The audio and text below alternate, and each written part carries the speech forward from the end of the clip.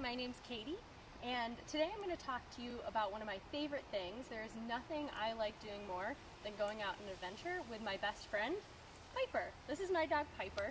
So whenever you're taking your dog outside, whether you're hiking or camping or fishing or biking or hunting, whatever it might be, you want to make sure that you're prepared to take care of your dog on the trail.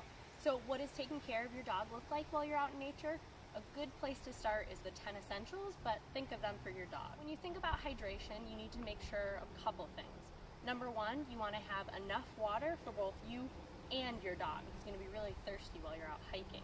And then you also want to make sure that you have um, the right stuff to make sure your dog has the water and can drink that water. Piper, sit. So when you do that, there's a couple ways you can do it. Super easy. The easiest one is just to bring a collapsible bowl like this guy here and then you can actually give your dog water right from your water bottle. Sit. And then another way you can do this, if you do some practice beforehand, you can actually get your dog to drink right out of a hydration pack. Baby, you want some water? Good girl.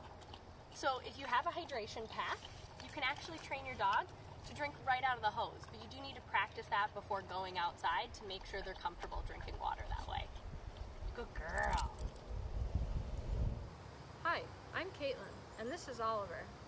When it comes to first aid, you want to be prepared to address the most common injuries dogs encounter in the outdoors, like paw injuries, splinters and thorns, and ticks. A simple first aid kit for dogs, like the Adventure Medical Kit Trail Dog, has all the first aid supplies you need to treat common injuries, as well as first aid information to tell you how to treat those injuries. When your dog is in pain, he won't understand you're trying to help him and may be unpredictable so it's always best to muzzle your dog before trying to treat him. You can use the included triangular bandage in your kit to make a muzzle. Lay the bandage over the bridge of your dog's nose. Tie one overhand knot under the nose, like so, and tie one knot around the back of the neck. Hi, I'm Chelsea and I'm here with my dogs uh, Pemmy and Coco and our Adventure Medical Kit's Trail Dog Medical Kit, which has all of the things you need to treat the most common trail injuries for your dog. I want to highlight a few things in it.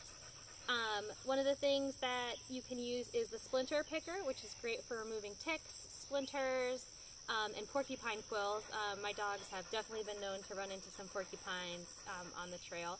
So what you want to do with this is put it as close to your dog's skin as possible.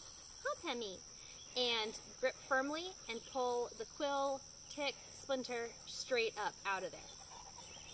Um, after that, you can treat it with an antiseptic wipe that we have in the kit, and that will make sure that there's no infections or anything.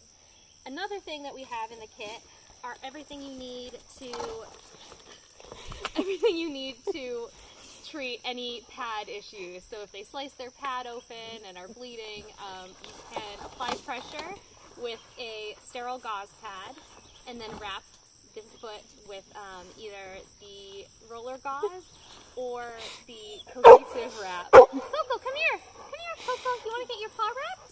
And then you can treat it with the antiseptic tablet. Come here, Coco. Come here. You guys want treats? Yeah, we have treats. There you go.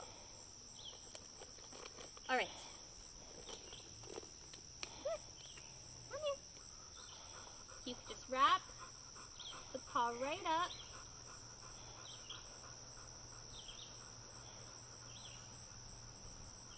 Good boy, Coco. Good boy, Coco.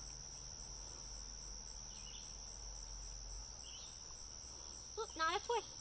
And then they'll be all good. Oops. you know, sometimes dogs aren't the best patients. but you have everything you need in the Adventure Medical Kit's Trail Dog Kit.